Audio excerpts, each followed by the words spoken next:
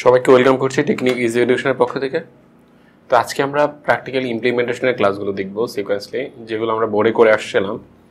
যে দুইটি সংখ্যার গসাগু নিয়ে করেছিলাম, কিন্তু সেটা টোটালি ছিলাম বোর্ডে আমরা কথা দিয়েছিলাম যে আমরা এগুলোকে কোড বক্সে ইমপ্লিমেন্ট করে দেখব। বোর্ডে দেখার একটাই কারণ ছিল এখানে আমরা জিনিসটাকে টোটালি এক্সপ্লেইন করতে সুবিধা হয়।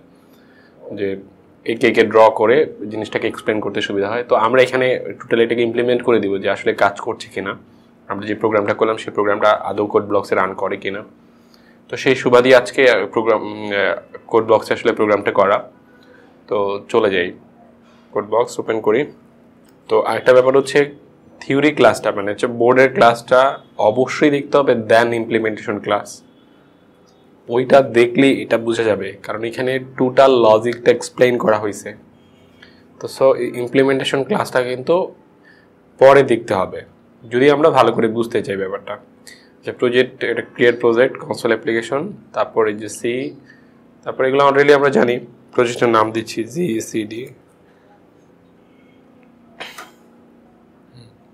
finish source main এখানে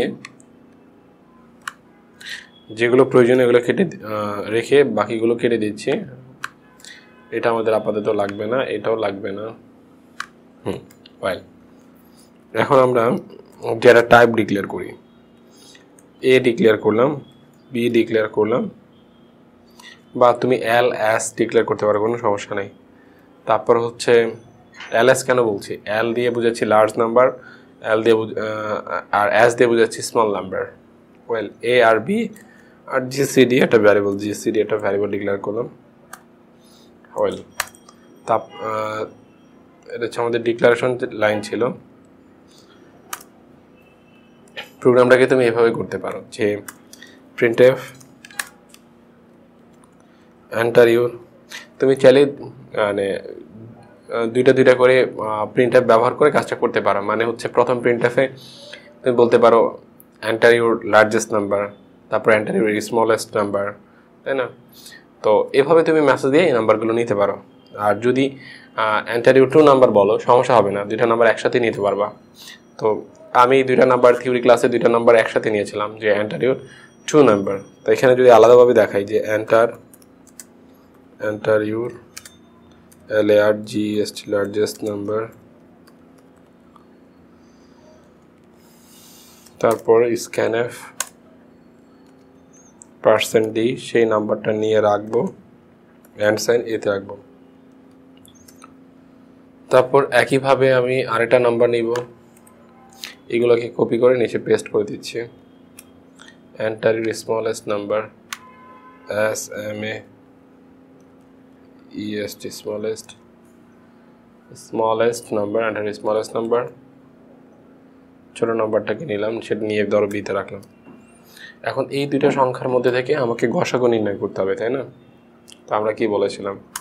তো হোয়াইল লুপ ব্যবহার করছি হোয়াইল হোয়াইল হোয়াইল লুপের মধ্যে আমরা জানি এই কাজটা আমরা ততক্ষণ অবধি চালাবো মানে কোন কাজটা ততক্ষণ অবধি চালাবো, তাই না? যে বড় নাম্বারটাকে মানে ভাগ করব ছোট নাম্বার দিয়ে, যতক্ষণ অবধি কি হবে মানে যাকে দিয়ে ভাগ করব মানে ব্যাপারটা হচ্ছে এরকম। তবে যদি একটু এক্সপ্লেন করে দিই মানে এখানে আচ্ছা আমি লিখে নিই প্রোগ্রামটা দেন পেন টুল এক্সপ্লেন করে দিচ্ছি। অলরেডি এক্সপ্লেনেশন ক্লাসটা দেখলে আর এক্সপ্লেনেশনের প্রয়োজন হবে না। তারপরেও কিছু এখানে করে দেবো। বি নট ইকুয়াল জিরো মানে যতক্ষণ অবধি বি নট ইকুয়াল জিরো হবে, ততক্ষণ অবধি আমরা কোন কাজটা করতে থাকব? যে আমরা এ কে এ হচ্ছে আমার লার্জ নাম্বার এ কে ভাগ করব। ভাগ করে বাক্সে স্টোর করব। কোথায় স্টোর করব? এই যে আর স্টোর করব। কিন্তু আর কি আমরা ডিক্লেয়ার করেছি? না, আর ডিক্লেয়ার করি নাই কারণ এখানে একটা আর ডিক্লেয়ার করে দিই। যে কাজের পারপাসে যখনই যা প্রয়োজন হচ্ছে আমরা ডিক্লেয়ার করে দিচ্ছি কিন্তু। তখন তারপরে কি করব? এ ইকুয়াল বি এর মানটা মানে বি এর মানটা পরে এর মান হয়ে যাবে, আর বি এর মান হবে আর এর মানটা, তাই না? তারপরে আমরা কি করেছিলাম? যে জি সিডিতে আমরা এ রেখে নিয়েছিলাম। তারপর প্রিন্ট এফে জিসিডি রেজাল্ট বলেছিলাম যে ইউর জিসিডি মানে greatest common divisor result R E S U L T result is equal percent D রেজাল্টটা কোথা থেকে দেখাবে? জিসিডি থেকে। জিসিডি থেকে আমাকে ফাইনাল রেজাল্ট দেখাবে। এখন প্রোগ্রামটা আমি একটু রান করছি। দেখো রান হয় কিনা বাবা কাজ করে কিনা। আমরা যখন এখানে সেমিকলন হবে তো দেখো রান হয়েছে। বলছে লার্জেস্ট নাম্বার ধরো আমি বারো দিচ্ছি। যে ভ্যালুগুলো ধরে আমি এক্সপ্লেন করেছিলাম। তারপর আমি ফাইভ দিচ্ছি। দেখো, তাদের জিসির রেজাল্ট ওয়ান দেখাচ্ছে। আর ওয়ান দেখানোরই কথা ছিল। তো আমাদের এখানে জিসির রেজাল্টটা ওয়ান দেখাচ্ছে। তো খেয়াল করে দেখো, এই ওয়ানকে সে কীভাবে দেখাচ্ছে? মানে ওয়ান যে তাদের সে কীভাবে বুঝতে পারছে? আমার এই অ্যালগোরিদমটা কীভাবে কাজ করছে? অলরেডি তুমি জানো, আমি টুলে এই পেন্ট টুলে ছোটো করে আলোচনা করছি এখানে। সে যেটা করছে, ধরো এই বারোকে বারোকে কত দ্বারা ভাগ করছে? মানে বারোকে পাঁচ দ্বারা ভাগ করছে। আমরা অলরেডি জিনিসটা এক্সপ্লেন করেছিলাম। পাঁচ দ্বারা ভাগ করে পাঁচ দুগুণে কত হয়েছে? দশ। কিন্তু কি করছে? তারপর বাক্সেস বের করছে। কারণ মড মড মানে পার্সেন্টেজ মানে বাক্সেস ছিল। তারপর দেখো, যেহেতু বাক্সেস জিরো হয় নাই সে এই বাঘের প্রসেসটা আবার কন্টিনিউ করছে। কেমন? আবার যে বাক্সেস ছিল, এই বাক্সেস দিয়ে আবারও সে এই পাঁচকে বাক করছে। বাক্সেস দিয়ে আবারও সে পাঁচকে ভাগ করছে। কত হবে? দুই দুগুণে কত হয়? চার। এখনও যাকে দ্বারা ভাগ করছি, কত দ্বারা ভাগ করছি? দুই দ্বারা। তার কারণে বাক্সেস কি হয় নাই? জিরো হয় নাই। বাক্সেস কত হয়েছে? ওয়ান যাকে দ্বারা ভাগ করব তার কারণে যদি ভাগশেষ জিরো হয়, তাহলে ওটাই হবে তাদের গসাগু, এই দুইটা সংখ্যার মধ্যে থেকে। যদি এখনও বাক্সেস জিরো হয় নাই, আমি আবারও এই বাক্সেসটা দিয়ে আবারও যাকে ভাগ করেছিলাম কিছুক্ষণ আগে, তাকে ভাগ করব।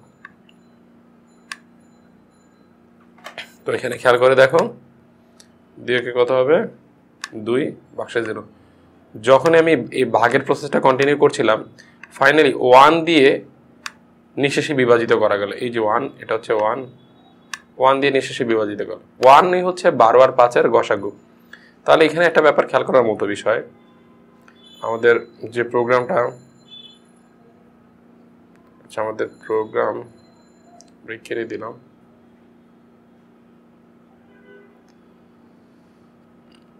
আচ্ছা আমরা জিসিডি থেকে ওপেন করে নিই, এটা আমাদের প্রজেক্ট ছিল।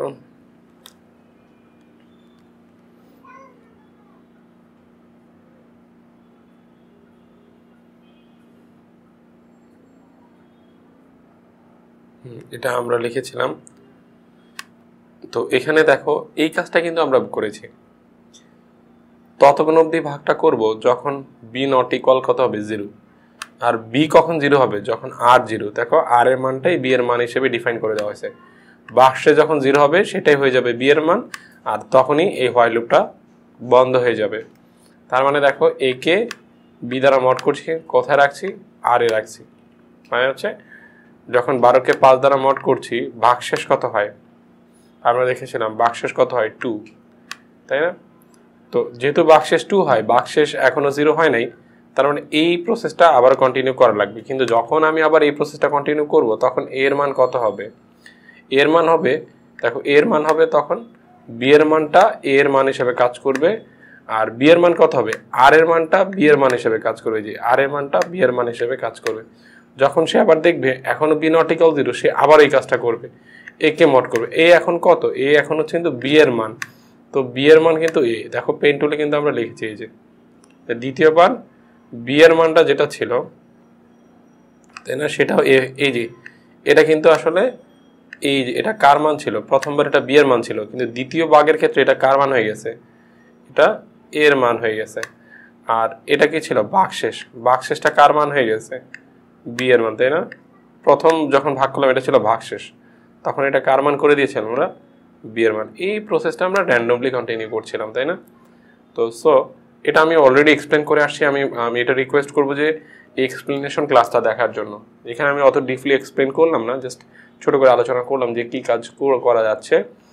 তো, তুমি যদি চাও এখানে জিসিডি রেজাল্ট এভাবে লেখো, যে ইউর গ্রেটেস্ট ইউর এভাবে রেজাল্টটা তোমার ইচ্ছা, তুমি যেভাবে দেখাও।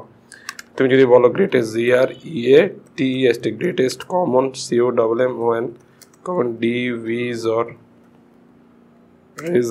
divisor greatest common divisor of divisor of percent d.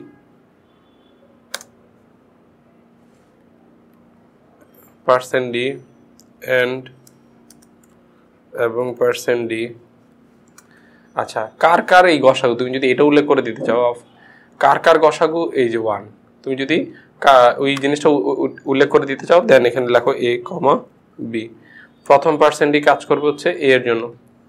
দ্বিতীয় পার্সেন্টই কাজ করবে হচ্ছে ভি এর জন্য। আর জিসিডি কাজ করবে হচ্ছে এখানে দেখাবে, এটা এখানে দেখাবে গসাগু। তার মানে এটা হচ্ছে ওয়ার্ডার মেনটেন করে। এই এটা কাজ করবে এই পার্সেন্টের জন্য। প্রথম যেটা লিখবে, প্রথম পার্সেন্টের জন্য। এটা দ্বিতীয়বার যেটা লিখবে সেটা দ্বিতীয় পার্সেন্ট পার্সেন্টের জন্য। এখন দেখো রেজাল্ট দেখাবে ঠিকই, কিন্তু একটু অর্গানাইজ হইতে আর তা আগের থেকে একটু সুন্দর লাগবে। তো এই ব্যাপারগুলো আমি জানি অলরেডি তোমরা জানো। ধর হচ্ছে আমি বারো আর পাঁচ এখনও দিচ্ছি। এই দেখো দেখাচ্ছে। বারো আর পাঁচ। সরি এখানে একটা কাজ করতে হবে। আমাদের তুমি যদি বিয়ের মানটা কিন্তু ফাইনালি আপডেট হয়ে যাচ্ছে, তাই না?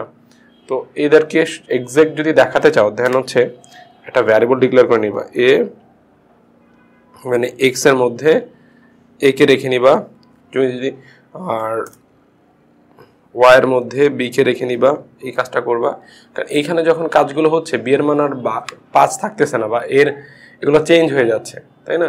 তো সো আমরা যে কাজটা করতে পারি, যাতে যাতে চেঞ্জ না হয়, এই ভ্যালুগুলো মূল ভ্যালুগুলো আমি যাতে দেখাতে পারি দেন এই যে এর মানটা শুরুতে কোথায় রেখে নিলাম? এক্সে পরে ওয়াই এক্স আর ওয়াই ডিক্লেয়ার করে দিই। এই শুরুতে এক্স আর ওয়াই ডিক্লেয়ার করে দিই। এক্স এক্স আর ওয়াই ওয়াই ডিক্লেয়ার করে দিলাম। এক্স আর ওয়াইতে পূর্ণ সংখ্যা রেখেছি।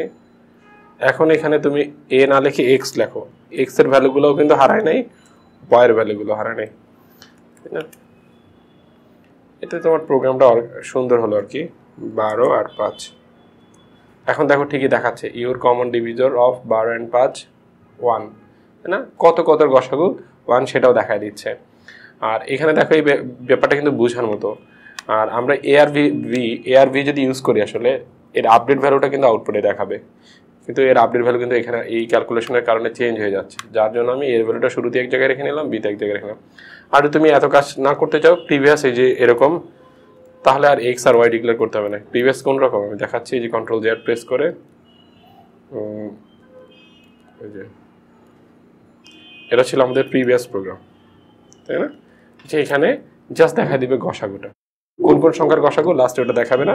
তুমি যা যা প্রেস করবে তার গসাগু দেখাবে, কিন্তু আউটপুটে ওই বারো আর পাঁচ সহ ডিজিটটা দেখতে পাবো না, যেটা আমরা কিছুক্ষণ আগে দেখে আসলাম, যে আমরা চাইলে এই জিনিসটাকে আরও সুন্দর করতে পারি। তো এটাকে কখনো কখনো বলে ডুহাই লুপে বিশ্লেষণ করা সম্ভব কিনা করা যায় কিনা, এরকম কোশ্চেন থাকে আমাদের উদ্দীপকে। তো আমি তোমাদেরকে সাজেস্ট করব এটা ডুহাই লুপে করা সম্ভব কিনা, বা করে দেখাতে পারো আমাদের কমেন্টে তো এই পর্বে এখানে আল্লাহ হাফেজ।